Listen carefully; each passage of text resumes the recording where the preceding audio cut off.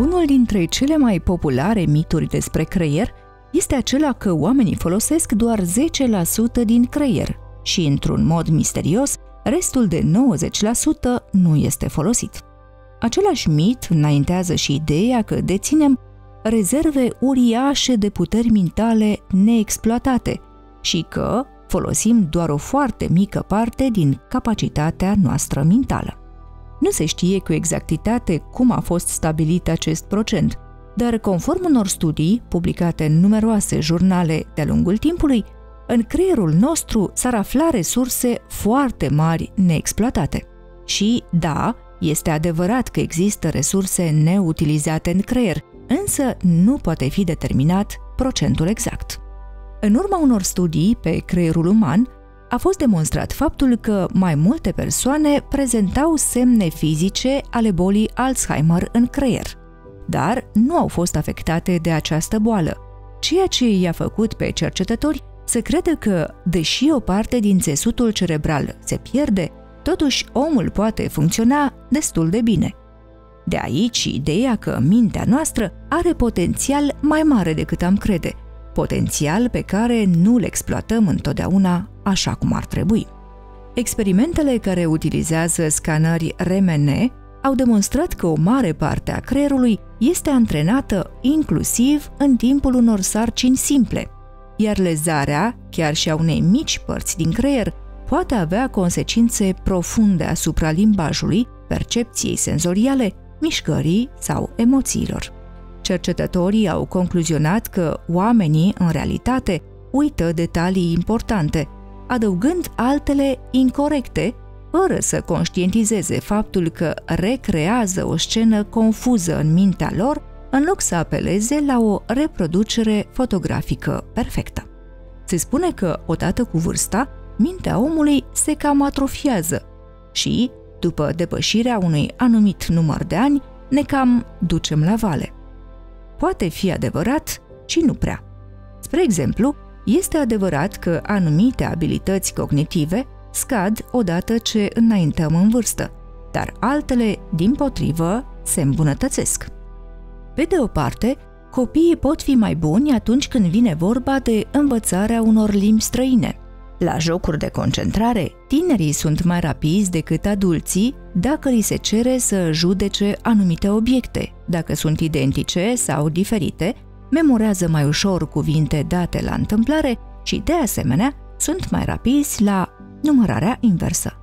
Pe de altă parte, cei mai în vârstă s-au dovedit a avea un vocabular mai bogat, capacitatea de a înțelege detalii lingvistice subtile și a determina mai exact, în urma unei biografii date, caracterul cuiva.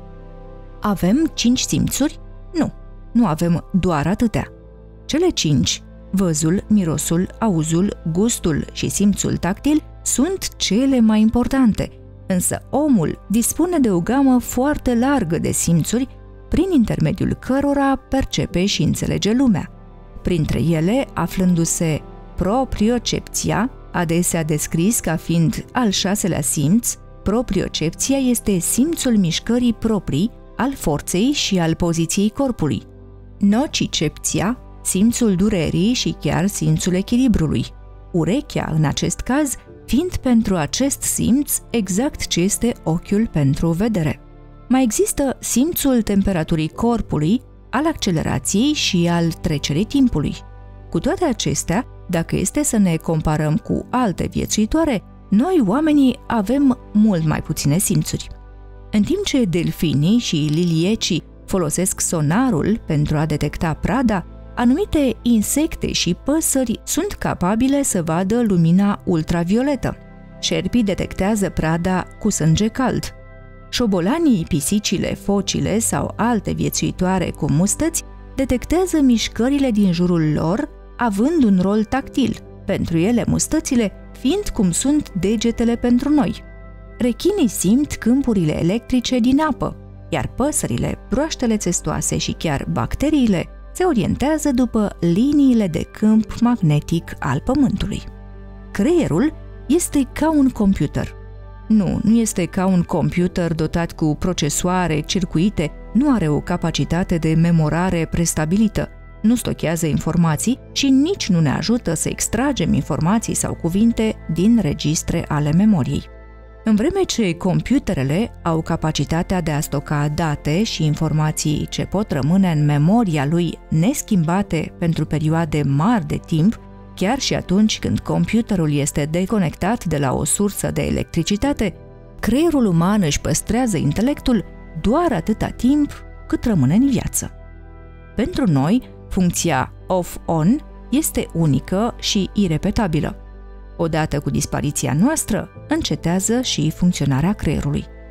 O lovitură în cap poate provoca amnezie, iar antidotul este desigur o altă lovitură la cap. Falsă și această informație, spun cercetătorii. Asta se poate întâmpla în filme. În realitate, există două forme principale de amnezie. Anterogradă, incapacitatea de a forma noi amintiri după un accident, și retrogradă, incapacitatea de a aminti evenimente din trecut, pierdere parțială a memoriei, care poate fi cauzată de Alzheimer, leziuni cerebrale traumatice sau deficiența de tiamină. Prin urmare, o leziune cerebrală nu afectează în mod selectiv memoria autobiografică, cu atât mai puțin o aduce înapoi. Cine, ce și cum determină capacitatea noastră de a fi fericiți? Cum și cine pune limitele între forme și manifestări ale fericirii?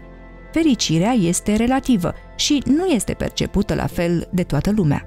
În timp ce unii oameni pot radia de fericire după un câștig la loto, pentru alții, fericirea nemărginită este atunci când vine pe lume un copil. Banii pot face pe oameni fericiți, este adevărat, dar până la un punct. Așadar, totul este relativ și imprecis.